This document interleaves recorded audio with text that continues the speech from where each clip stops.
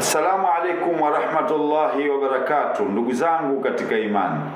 Alhamdulillah, tunamshukuru Allah subhanahu wa ta'ala kutupa uhai na afya, tukaendelea kuwepo katika kipindi hiki cha mwezi mtukufu wa Ramadhan. Tunamwomba Allah subhanahu wa ta'ala azikubali ibada zetu na atusamehe makosa yetu, tukiendelea kukumbushana katika masuala yanayohusiana na mwezi mtukufu wa Ramadhani. Leo tutaizungumza hadithi ya Mtume Muhammad sallallahu alayhi wa alihi wasallam inayozungumzia hasara za mwanadamu ambaye ataingiliwa na mwezi mtukufu wa Ramadhani mpaka umalizike hali ya kuwa hakunufaika na matunda ya mwezi huu.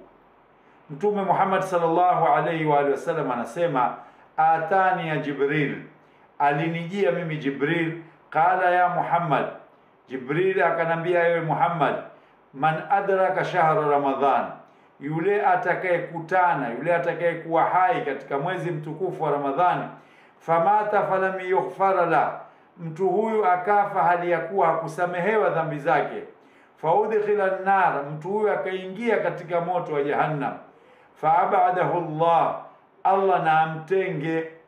Qul amin, akamwambia sema amin Fakultu amin, Mtume Muhammad sallallahu alaihi wasallam akasema, nikasema amin. Ndugu zangu katika imani, hapa Jibril anamwambia Mtume Muhammad sallallahu alaihi wa sallam, mtu ambaye ameipata Ramadhani akaishi katika Ramadhani na akusamehewa makosa yake na akaenda mtu huyu akaingia katika moto wa Jahannam, basi mtu huyu bora Allah subhanahu wa ta'ala amtenge. Na akataka Mtume sallallahu alaihi wasallam aitikie aamini ili huyu mtu atengwe na Allah subhanahu wa ta'ala.